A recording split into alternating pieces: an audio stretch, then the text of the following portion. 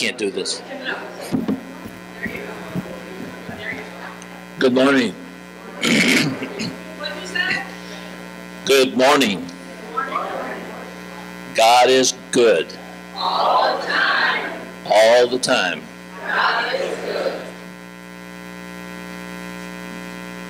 If anything is excellent in any thought, any, if any thought is admirable, if any course of action is holy and pure, righteous and true, focus your mind on these things that God will bring you peace.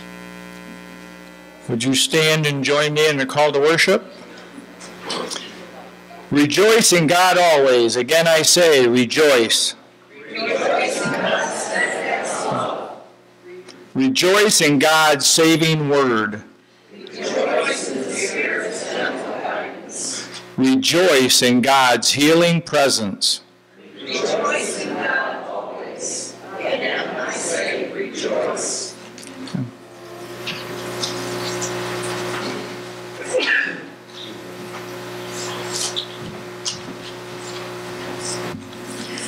The gospel reading this morning is from Matthew 22, 1 through 14. It's on page 24 in your Pew Bibles, and I will be reading from the Word. Jesus told them several other stories to illustrate the kingdom. He said, The kingdom of heaven can be illustrated by the story of a king who prepared a great wedding feast for his son. Many guests were invited, and when the banquet was ready, he sent his servants to notify everyone that it was time to come. But they all refused. So he sent other ser- servants to tell them, The feast has been prepared, and choice meats have been cooked. Everything is ready. Hurry. But the guests he had invited ignored them and went about their business one to his farm, another to his store. Others seized his messengers and treated them shamefully, even killing some of them. Then the king became furious. He sent out his army to destroy the murderers and burn their city. And he said to his servant, The wedding feast is ready, and the guests I invited aren't worthy of the honor. Now go into the street corners and invite everyone you see. So the servants brought in everyone they could find, good and bad alike, and the banquet hall was filled with guests. But when the king came in and met the guests, he announced he noticed a man who wasn't wearing the proper clothes for a wedding. Friend, he asked, how is it that you are here without wedding clothes? And the man had no reply. Then the king said to his aides, Bind him hand and foot and throw him out into the outer darkness, where there is weeping and gnashing of teeth, for many are called, but few are chosen. This is the word of God. Holy God, we come into your midst with praise on our lips and songs of joy in our hearts. We come to stand firm in our conviction that good is stronger than evil, that love is stronger than hate, that truth will ultimately win the day. Keep our hearts focused on things that are worthy of praise, and bless us with your peace, a peace that passes all understanding. Keep our minds grounded in Christ Jesus, that we may know the joy of your justice and your righteousness. Amen. Shall we go?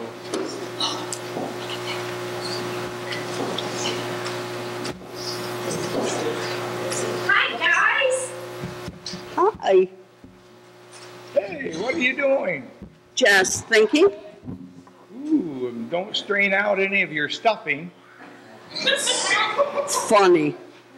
No, I was wondering why we go to church. I mean, because when I am outside, I can worship God and praise God. Yes, and it's good to worship God and praise Him outside as well. Yes, yay. I just feel so close outside. Well, see if you can't take some of the things you learned about worship back to church with you. Like what? I don't know what you mean. When you worship God out here, you start by tuning in your ears. They listen to the birds, the water, the wind. Then you start listening for God. Hey, that's exactly what happens. You also get really quiet and shut out all distractions and concentrate on God. Sometimes that's hard to do in church. Yes, that's why we should be careful not to be distractions in church, even before the service starts. because some people might be listening to God. Yes, and they might be quieting themselves so they can worship God.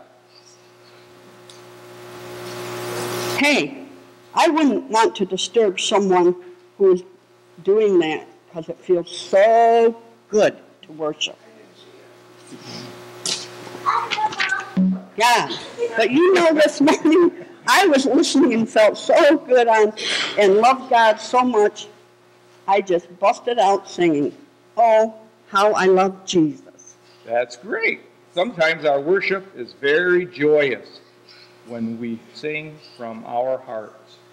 Can we sing like that in church? Oh, yes. When you sing in church, listen to the words, see what they mean to you, and then sing them to God. You know, sometimes I don't feel good when I come to church because something happened.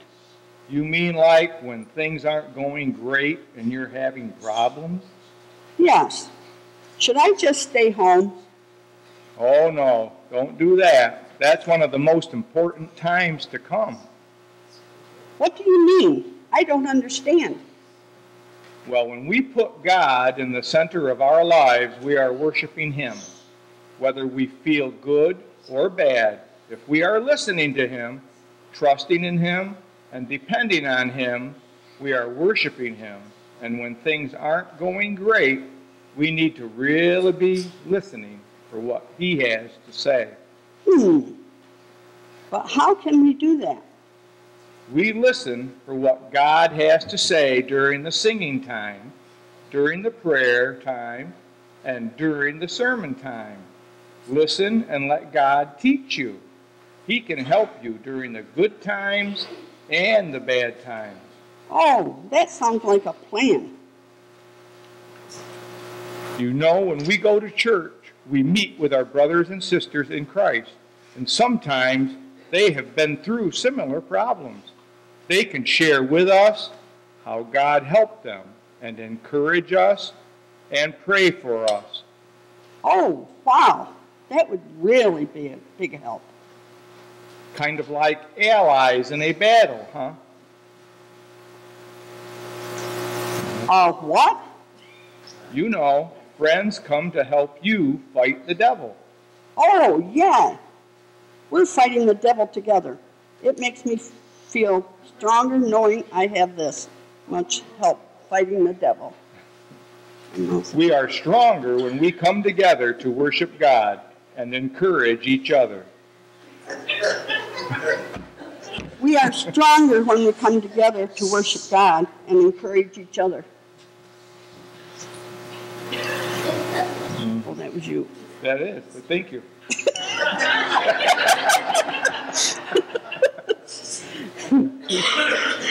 Oh, yeah, we're fighting the devil together. It makes me feel stronger knowing I have this much help fighting the devil. There we okay. go. We are stronger when we come together to worship God and encourage each other. Oh, yes, we are. Okay, I'm going to sit back and listen to God for the rest of the service. Maybe He will help me with something I have been wondering about. I'm sure that He will.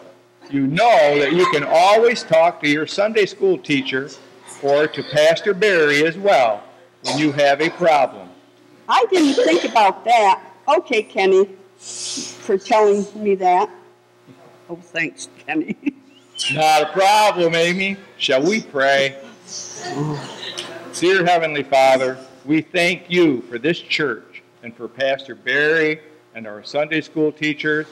We especially thank you for teaching us how to pray to you and for teaching us how to listen for your small, still voice. Be with us as we continue to learn about you this day and the next. Amen.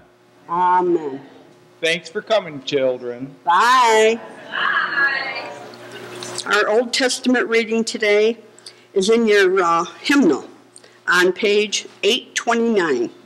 There will be a musical response. You guys will need your hymnals. On page 829,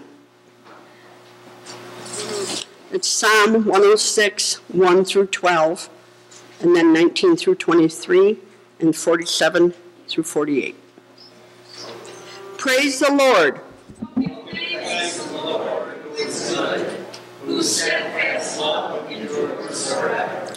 Who can utter the mighty doings of the Lord, or show forth all God's praise?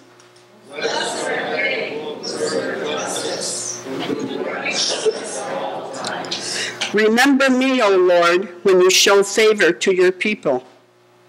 Help me when you deliver them. That I may see the prosperity of your ones. That I may rejoice in the gladness of your nation. That I may glory in your heritage. Now 19 through 48. They made a calf in Horeb and worshipped a motion, a molten image. They exchanged the glory of God for the image of an ox that eats grass.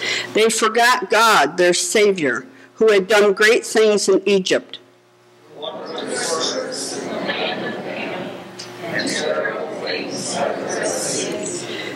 Therefore, the Lord intended to destroy him and destroy them, had not Moses, his chosen one, stood in the breach to turn away God's wrath from destroying them. Save us, O Lord our God, and us from among the nations, that we may give thanks to your holy name and glory in your praise. Blessed be the Lord, the God of Israel, from everlasting to everlasting. And let all people say, Amen. Praise the Lord. Praise be to God. This is the word of the Lord. Thank you.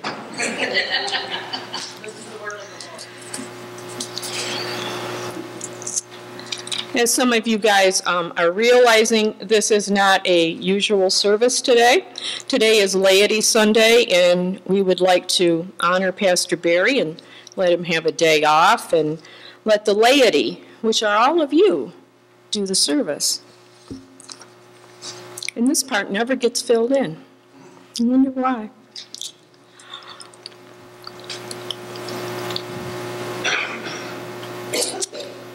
Would you please pray with me?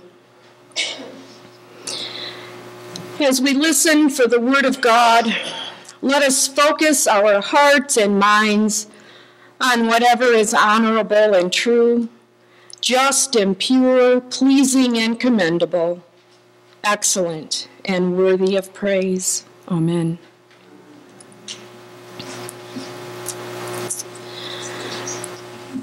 Whoa, that could have been a disaster.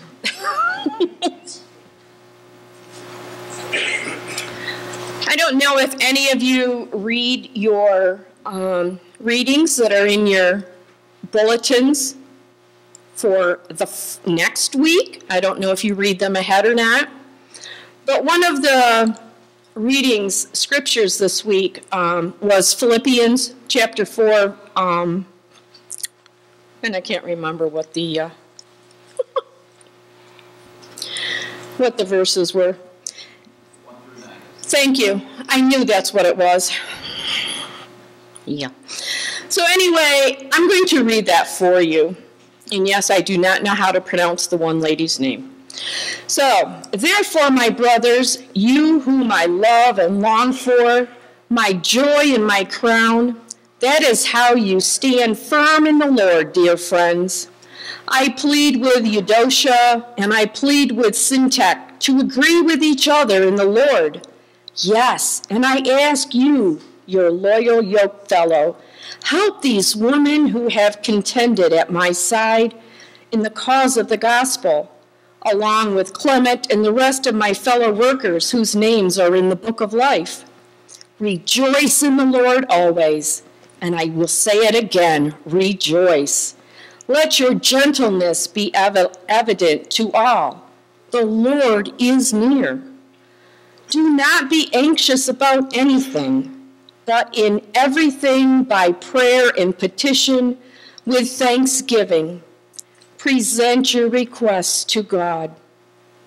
And the peace of God, which transcends all understanding, will guard your hearts and your minds in Christ Jesus.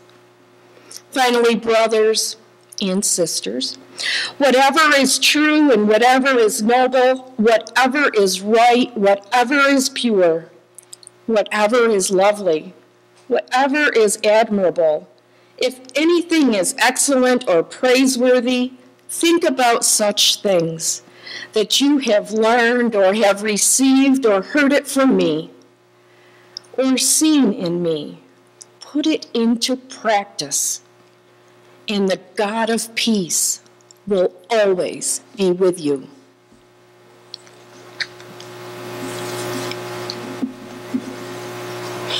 All of the readings in this week's lectionary have us thinking about anger. God's and our own. In Exodus, Moses has to talk down an irrational Yahweh. In Matthew's parable of the wedding banquet, an equally unreasonable host, king, which was God, responds in an unwilling, disproportionate ways of what really amounts to social snubbing and an ill-dressed party guest. Now, I'm sure I'm not the only one that's had to turn down an invitation to something. Sometimes health or injuries or a family. Sometimes we don't have the right clothes to wear. I know I'm the first one probably that says when they say, oh, come on, let's do this. What do I got to wear? Anyway, I'm sure I'm not the only one. Sometimes there's sorrow Sometimes there's a whole lot of other reasons that we decline invitations. In the gospel lesson, the king invites all of those that had great importance, but they have too many other things going on with their lives, so they just say, nope, sorry, can't do it. So the next invitation goes out to those that were not chosen first, you know, the common ones, the workers, the impoverished, I'm sure that the king would have been pleased if some of the first invited ones had attended, but the king wasn't going to reserve a seat for them. If there was any room left over, they could still come in. Now, it would be easy for us to jump to conclusions when you compare with the Pharisees, who would have likely been above, among sorry, the first invited because of their status and influence. I believe the comparison can go further, or perhaps closer to us. There are so many ways that God invites us to celebrate and then to serve. But it is easy for us to get sidetracked. Needing to work on Sunday can also be a block to attending a celebration or having family responsibilities, even if there are sports or other social events that can always get in the way. What do we gain by accepting God God's invitation to the banquet? And what have we lost? Are we healed or strengthened, given courage or inspired, or challenged by declining God's invitation? We still maintain that the demands on living in today's day and age determine our responses.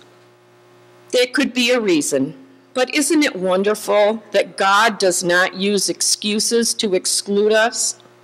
God never declines our prayers. He might answer them a different way from what we want, but He doesn't decline our prayers. Even though our impatience tells us that we want an answer and we want it right now.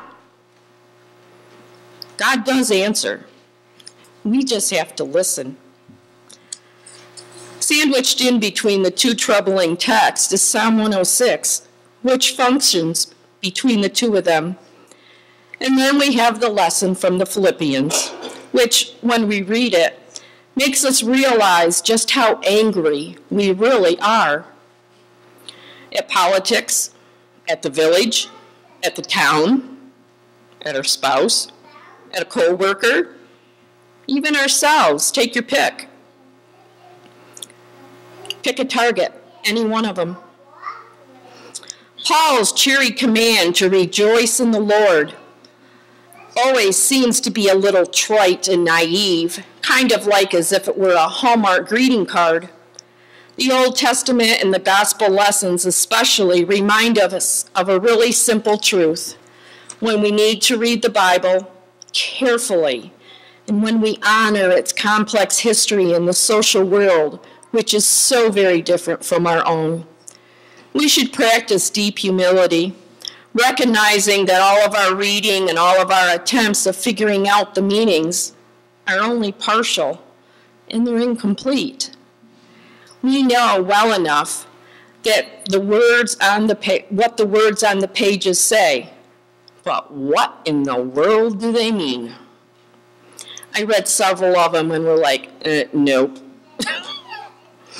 The psalm this week reminds us that in the midst of everything, a God who rages, people who betray, the proper response is always worship In thanksgiving, lament, confession, and rejoicing. The mystery of God's anger, just like the mystery of God's love, can never fully be comprehended. It can only be entered into. Who can utter the mighty doings of the Lord? The psalmist asked, or declare all of his praise? we don't always get our heads on straight all of the in on straight and all of the ways of God and then offer our praise and thanksgiving. God is. We worship and the mystery still remains. Paul asks us to stand firm, for the crown or the victory will someday be ours. At this point, Paul remembered something that had happened to specific people, that there had been a disagreement between them. More than that, we really don't know anything about the two ladies. They only that they quarreled. What a terrible thought to only be remembered by this alone.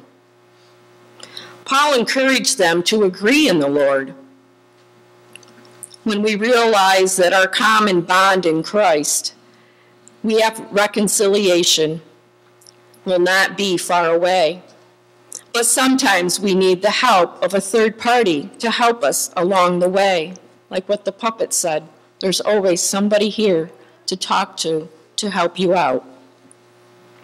There is nothing sadder than when Christians fall out with each other, and even sadder still when people have died and there still has not been peace between them.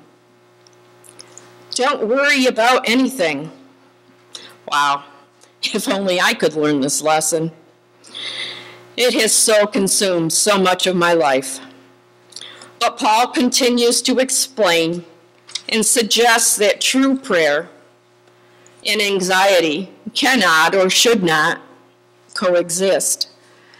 The way to be truly anxious about nothing is to pray about everything. And when we pray and make our own requests known to God, we should always add thanksgiving. If we do this, Paul promises us that we will know God's true and rich peace. Paul promises us that the peace of God, which passes all understanding, something that is beyond human comprehension, will keep. The paragraph that began with joy and ends with peace. Is Paul saying that if we don't have God's peace in our hearts, that we cannot have his song on our lips? Keep on doing the things that you have learned and received and heard and seen in me, and the God of peace will always be with you. St. Francis of Assisi is said to have said, Preach the gospel everywhere, and only when necessary, use words. Nothing can be more attractive than a holy and pure life. Not a holier than thou life, though. We've all met judgmental people who think that they have all of the answers and who are always critical of others. Nothing can be more off putting. But we also have the privilege of meeting people whose lives are filled with joy of the Lord, those who rejoice. What a characteristic of life of love is gentleness, prayerful living, and peace, even in the midst of terrible things. Paul exhorts to us today to live this way, and then we will know God's peace and fulfillment, and we will attract others to become disciples of Jesus. And he also gives us very practical way of doing this, and that is to prayerfully fill our minds with whatever is true, honorable, just, pure, pleasing, commendable, excellent, and worthy of praise. Is this characteristic of what we watch on TV? Watching a movie? Is that characteristic what we look at on the internet? The books we read? The music we listen to? Or what we study? If we seek to live in this way and with God's grace and with the aid of the Holy Spirit, none of it can we can none of this can we ever achieve on our own. We all know that we can live with what Paul says in verse 7 the peace of God, which surpasses all understanding, will guard your hearts and your minds in Christ Jesus. Amen. Please pray with me. Bathe us in your compassion and love, Holy One. Clothe us in your justice and righteousness. Dress us in your mercy and grace that our hearts and minds may be kept safe in Christ Jesus and that we may find peace. Amen. God of steadfast love, your bounty knows no bounds. For the abundant gifts in our lives, we thank you. For the peace that passes all understanding, we praise you. For the keeping of our hearts and minds in Christ Jesus, we honor you. Receive the gifts we bring you this day and help us stay focused on things that are excellent and admirable, holy and just, righteous and pure. Amen.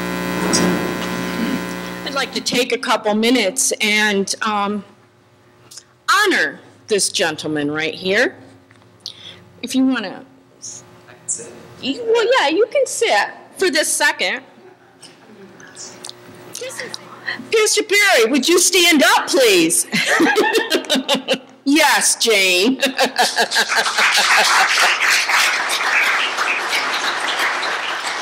Um, at this time, I would like to do a place a blessing on Pastor Barre. If anybody else would like to come up and lay hands on him, or from your seat, you can just raise your hand like this towards Pastor Barre, whichever way you would like to do. Lay hands on gently, he says. Otherwise, you're going strain. I will not. Don't go too far. I can't get over there. Pastor Barre, in the name of Jesus Christ, I bless you with the promises of God, which are yea and amen. The Holy Spirit make you healthy and strong in body, mind, and spirit to move in faith and expectancy, May God's angels be with you to protect and keep you. Be blessed with supernatural strength to turn your eyes from foolish and worthless and evil things. Instead, may you behold the beauty of things that God has planned for you as you obey His words. I bless your ears to hear the lovely, the uplifting, and the encouraging, and to shut out the demeaning and the negative. May your feet walk in holiness and your strength be ordered by the Lord. May your hands be tender, helping hands to those in need. May your heart be humble and receptive to one another and to the things of God and not to the world. May your mind be strong and disciplined, balanced and faith-filled. God's grace be upon your home. May it be a sanctuary of rest and renewal, a haven of peace, where the sounds of joy and laughter grace its walls, where love and unconditional acceptance of one another is constant. God give you spiritual strength to overcome the evil one and avoid temptation. God's grace be upon you to fulfill your dreams and visions. May goodness and mercy follow you all the days of your long life. The Lord bless thee and keep thee. The Lord make his face to shine upon thee and be gracious unto thee. The Lord lift up his countenance upon you and give you peace. Amen. As we pray the prayer that Jesus taught us Our Father, who art in heaven, hallowed be thy name. Thy kingdom come, thy will be done, on earth as it is in heaven. Give us this day our daily bread, and forgive us our trespasses, as we forgive those who trespass against us. Lead us not into temptation, but deliver us from evil. For thine is the kingdom, and the power, and the glory forever. Amen. This is the benediction. May the peace of God, which surpasses all understanding, keep your hearts and minds in Christ Jesus from this day forward and forevermore. Amen.